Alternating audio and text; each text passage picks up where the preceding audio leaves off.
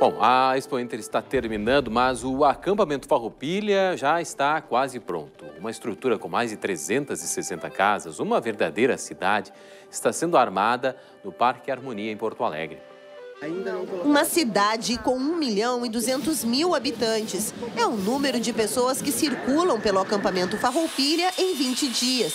A diferença é que essa cidade está sendo construída com muita madeira e trabalho. Vai chegar na finaleira já, graças a Deus.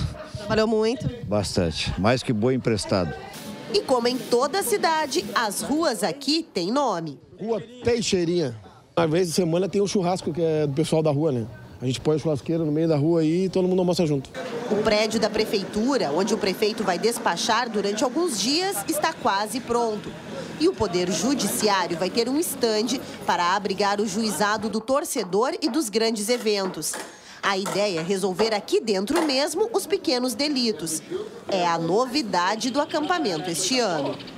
A presença da Brigada Militar, a presença da Polícia Civil do Estado, isso já, sobremaneira, nos ajuda e nos auxilia na segurança do, do, do parque e do evento. Agora, a agilidade dos processos chegados até a Polícia Civil e a Brigada Militar é que será o complemento desse ano cidade que se preza tem que ser sustentável. Voluntárias da Associação Brasileira de Engenharia Ambiental estão distribuindo sacos de lixo e cartazes que identificam os resíduos. Cada piquete tem que ser responsável pelo lixo que produz. Tem que ter uma, um certo cuidado com, a, com o parque, já que são 20 dias apenas, né? Temos que preservar bem o parque. É o lar deles é a, a casa deles e a gente ajuda nessa educação ambiental para que haja essa organização nessa cidade que é que é este local uh, maravilhoso na cultura gaúcha, né?